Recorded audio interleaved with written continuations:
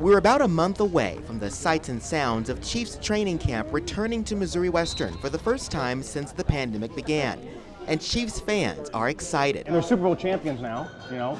They haven't been back since they've been champions. But as that excitement builds, so does concern and worry from local health officials as Buchanan County is seeing a rise in COVID 19 cases. We believe that we have variants here in Buchanan County. That, coupled with low vaccination rates, is concerning not only health officials, but city leaders as well. One city councilman worried the trend could negatively affect the experience. There very well could be some limitations to access to a lot of events, and one being the, the training camp out here at uh, the college. Right now, just under 21% of residents in the county have received at least one shot of the vaccine. Just over 19% are fully vaccinated. Our rate right now it's really low. It's not a good sign for our community. We need to do better. Despite these numbers, other health officials are giving the camp the green light. I believe that it's safe to have Chiefs camp. I think that the NFL has good processes and policies in place to do the best to protect not only the general public, but the players themselves. And with lifted restrictions and access to vaccines, fans are also ready to see their team back in action. I think people will show up. You know, me personally, it's never been a concern. I think there's a lot of people that aren't really worried about